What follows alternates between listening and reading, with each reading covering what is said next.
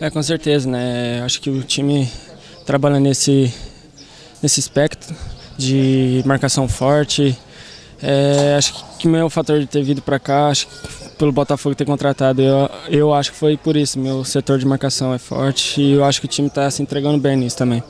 Pelos, foram poucas chances de gol, é verdade, no jogo, mas na minha opinião até as melhores chances foram do Botafogo, as chances mais claras de gol.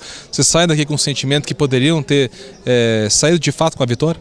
Com certeza, acho que o nosso time poderia ter saído com a vitória, né? Mas estamos aí felizes, pelo menos com um ponto fora de casa, que é importante também. Mas eu acho que faltou um pouquinho, um passe a mais ali para poder sair com a vitória, né? Frio, de alguma maneira, hoje pode ter atrapalhado, né? Vocês vinham treinando com um tempo muito quente, o frio começou a alterar em Ribeirão Preto essa semana.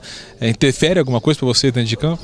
Não, não, não. Eu acho que interfere não. Acho que é, jogador tem que estar acostumado com calor, frio. Eu acho que não me atrapalhou em aspecto nenhum. Acho que nem a, a equipe não. Agora contra a Santa Cruzense na quinta-feira, né? Jogo, primeiro jogo do Botafogo em casa, esse primeiro contato que você vai ter mais ali direto com, com a torcida. Tinha alguns torcedores, mas um número maior de torcedores já na quinta-feira no estádio. Como é que você imagina que vai ser esse jogo? Ah, eu espero que o estádio esteja cheio, né? É, acho que a equipe vai fazer uma bela partida.